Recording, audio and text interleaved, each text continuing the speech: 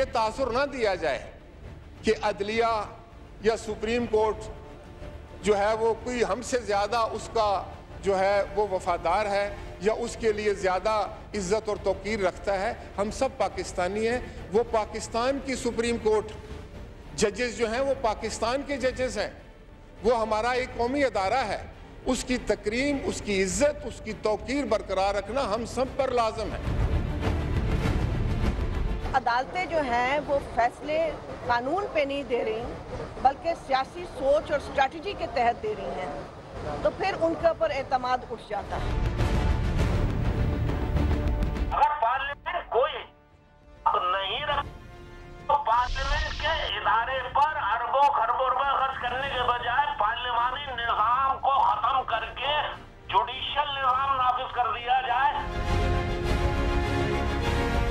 आज जब मैं समझता हूँ कि अदालत तजावज़ करती है, एक वज़ी अजम को इस बात पे और इस मामले को करप्शन का केस समझा जा रहा है लोगों को, बताया जा रहा है। करप्शन का मामला नहीं है, इल्ज़ाम कोई भी हो, किसी को अच्छा लगे, किसी को बुरा लगे, आसिफ जरदारी।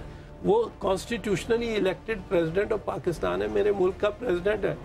अब मैं उसको धकेल के स्विट्ज़रलैंड के इन्वेस्टिगेटिंग मजिस्ट्रेट के सामने भेज करूँ ना ये सुप्रीम कोर्ट को के लिए मुनासिब है और मुमकिन है। जब वो नई सदर रहेंगे आप खत भी लिखिए डेढ़ साल की बात है।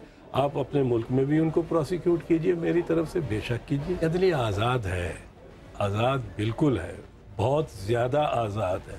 ये बहुत ज़्यादा आज़ाद से मुराद क्या? मैं समझता हूँ कई जगहों में आइन से भी आज़ाद हो रही है।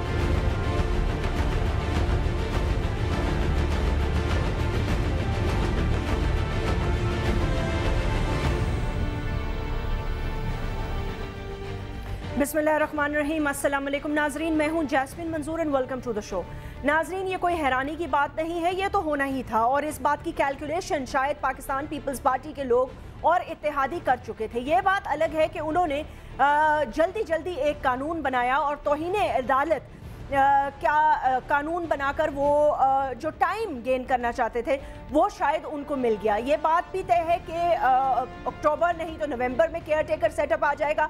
जैसे कि किए गए वादों के मुताबिक इलेक्शंस अगर वक्त पर होते हैं। वज़ीर अजम राजा परवेज अशरफ ये कहते हैं आ, उन्होंने असम्बली में ख़िताब किया हल्फ लेने के बाद कि जी ये एक कौमी इदारा है। इसकी तोकीर जो है वो हर एक पर लाजिम है। और जुडिशरी के जो निज़ाम है, या जो जुडिशल निज़ाम है, या जुडिशरी का जो ये इदारा है, इसकी चाहिए कि सबको इसकी इज़्ज़त करें और इसकी तोकीर इसकी जो एक बुनियादी स्ट्रगल के बाद ये जो एक इदारा सामने आया है, इसकी इज़्ज़त सब पर लाजिम है। ज़ाहिर सी बात है, हम सब तो इसकी इज़्ज़त करते हैं, लेकिन ऐसा कानून क्यों बनाया गया जिसमें कि मेरे और आपके अंदर फ़र्क हो? कानून को सुप्रीम कोर्ट ने एज प्रिडिक्टेड स्ट्राइक डाउन किया और स्ट्राइक डाउन करने के बाद अब एक और वज़ीर अजम को कहा गया है कि वो तोहन अदालत के मुरतकब हो गए हैं और फ़ौर सत्ताईस अगस्त को कोर्ट के सामने पेश हो जाएँ। अब देखना यह है कि क्या राजा परवेज अशरफ का भी वही हाल होगा जो यूसुफ रजा गिलानी साहब का हुआ? क्या उनको भी सजा होगी? क्या उनको भी कन्विक्ट करके घर भेजा जाएगा? या कोई और स्ट्रैटी हमत अमली इत्तेहादी बना लेंगे। ये बात भी तय है कि एक बड़े लीडर ने कल ये कहा कि उन्हें ये समझ में नहीं आ रहा कि कवानीन पार्लियामेंट बनाता है या कवानीन जुडिशरी बनाती है। अगर तो जुडिशल एक्टिविज्म होनी है और जुडिशरी ने ही कवानीन बनाने हैं तो करोड़ों रुपए खर्च करने के बजाय इस पार्लियामेंट को चलता करें घर और जुडिशल निज़ाम ले आए। अब तक होने वाली तमाम तर सुओ मोटो नोटिस और उसके अलावा जितने भी केसेस आए हैं मैं अपने आज गेस्ट से ये पूछना चाहूँगी कि कौन सा ऐसा केस है जो वो ये समझते हैं कि आइन से हटकर सुप्रीम कोर्ट ने उसे उठाया? छोटा सा वक्त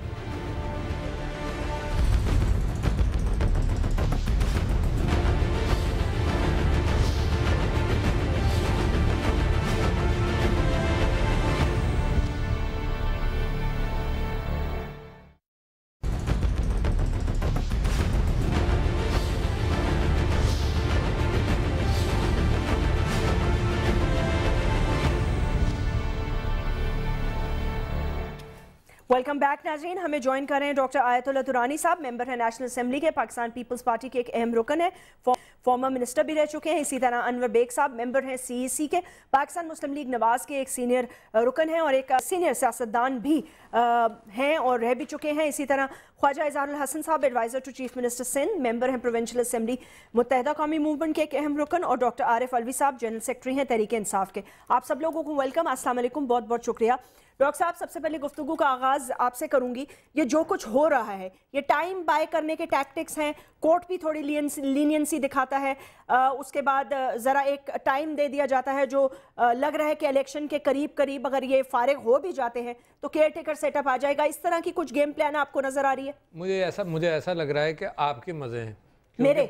आपके मज़े हैं। क्योंकि पीपल्स पार्टी ने और ये मैं समझता हूँ मुस्लिम लीग के लिए भी ज़रूरी होगा कि तैयार कर लिया है।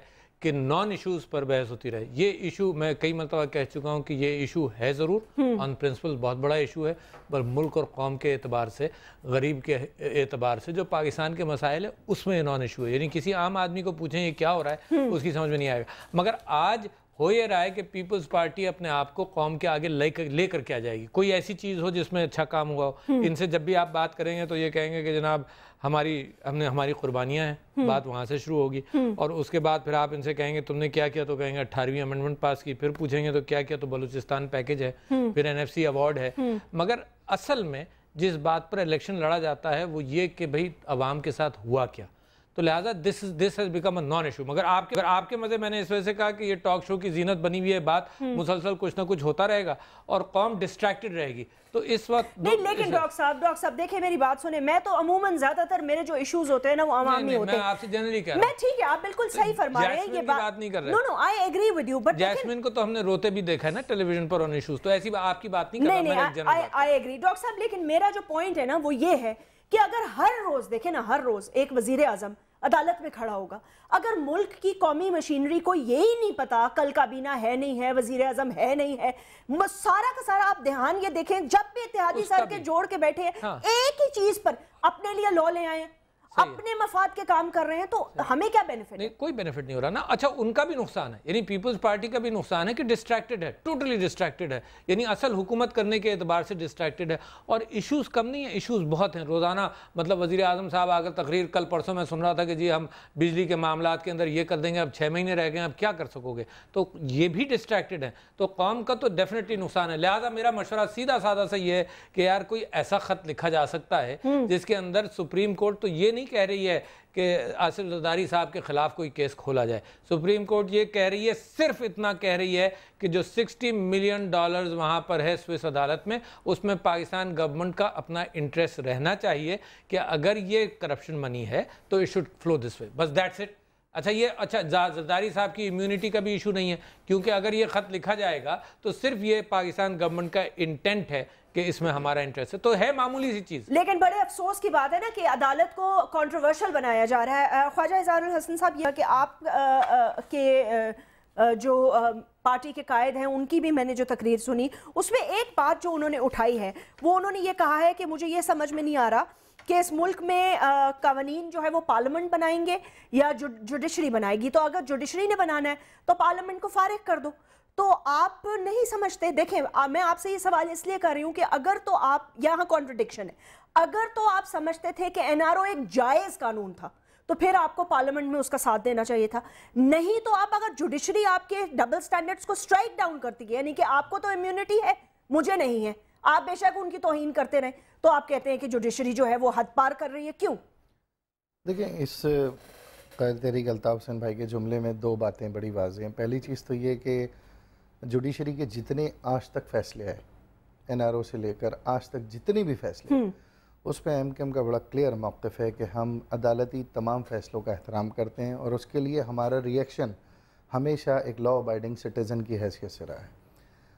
जहाँ तक बात है कि लॉ मेकिंग की तो इससे तो कोई इनकार नहीं है कि लॉ मेकिंग करना पार्लियामेंट का काम है लेजिस्लेचर्स हम्म। होते ही कहा ही उन्हें लेजिस्लेशन लेचर इसलिए कहा जाता है कि वो लेजिस्लेशन कर सकें लेकिन अगर उसकी इंटरप्रटेशन किसी तरीके से जुडिशरी एस्पेक्ट में पाकिस्तान के फंडामेंटल राइट के ख़िलाफ़ है हम्म। तो यकीनन ये बहस अदालत ही में हो सकती है एक तरफ़ अटारनी जनरल साहब मौजूद है दूसरी तरफ़ दूसरे वकला मौजूद है और ये एक्सपर्ट्स ज़ाहिर है हमारे सुप्रीम कोर्ट से ही उसकी इंटरप्रटेशन मांग रहे हैं। अगर तो उस इंटरप्रिटेशन में अदालत ने यही तो किया है ना? अदालत ने कहा है अल्ताफ की जो बात थी वो वाजे तौर पे ये थी कि लॉ मेकिंग करना तो काम है तो क्या ऐसा कोई रास्ता निकल सकता है कि लॉ मेकिंग भी हो और जुडिशरी के साथ तसादम भी ना हो? नहीं उन्होंने ये तो नहीं कहा। ये उन्होंने बाद में कहा लेकिन जो उनका कंप्लीट सेंटेंस था वो ये था उन्होंने कहा कि अगर अगर तो इस पार्लियामेंट ने कानून मुझे यही समझ में नहीं आ रहा ये उनके अल्फाज थे कि कानून साजी पार्लियामेंट ने करनी है या जुडिशरी ने? नहीं तो पार्लियामेंट पे करोड़ों रुपए खर्च करने के बजाय इनको घर भेजो। तकलीफ़ थी ना उनके जुमले में। उन, उनके जुमले में एक दुख था पार्लियामेंट के लिए या तकलीफ़ या जुडिशरी के लिए? दोनों इदारों के लिए कि हो क्या रहा है? जिस तरह आप जुडिशरी को तबाह कर रहे हैं इसके लिए आपको तकलीफ़ नहीं है लेकिन आपको पार्लियामेंट के लिए तकलीफ़ देखिए अल्ताफ भाई ने दोनों की तरफ़ इशारा किया था कोई एक बात तो नहीं की थी उन्होंने। उन्होंने तकलीफ़ और दुख से कहा ना हम्म। कि हो क्या रहा है? इतना हम सर जोड़ के बैठते हैं एक लॉ मेकिंग करते हैं करोड़ों रुपए खर्च होते हैं अब पार्लियामेंट। के लिए ना। उसके बाद अगर वो जुडिशरी की इंटरप्रिटेशन से तसादुम करता है तो तय कर आपको नहीं पता कि बुनियादी फंडामेंटल राइट्स में जहाँ आप और मैं बराबर नहीं रहेंगे वहाँ एक मिडिल क्लास पार्टी होने के नाते मैं आपको क्यों वोट डालूँगी? देखिए जैस्मीन ये जो इंटरप्रिटेशन है ना खास तौर पर नेशनल असेंबली की लेजिस्लेशन की हमारे मुल्क में ट्रेडिशन है कि इसकी जितनी भी इसकी इंटरप्रिटेशन है वो कोर्ट्स ही करती आई है हमारा काम है एज ए पार्लियामेंट पार्लियामेंट के अंदर लॉ मेकिंग करना। अगर उसके अंदर चाहे वो सही हो या गलत law making you can't say गलत। क्योंकि जब पार्लियामेंट में बैठ के नेशनल असेंबली के मेंबर्स करते ओके, हैं ओके, ठीक तो है। वो पब्लिक रिप्रेजेंटेटिव होते हैं। ओके बेशक होते हैं बट मैंने आपको इसलिए थोड़ी चूज़ किया है है। या मैंने अनवर बेग साहब को या आयतुल्लाह दुरानी को इसलिए थोड़ी वोट डाला है कि आप पार्लियामेंट में जाके मुझसे अपने आप को मतलब है फंडामेंटल राइट्स में आप आप ज़्यादा हो जाए और मैं कम हूँ। जो भाई बुनियादी हकूक आ गया ये फैसला दूसरी बार आया ना पहली दफ़ा भी आया ज़ाहिर है एनआरओ पे भी आया।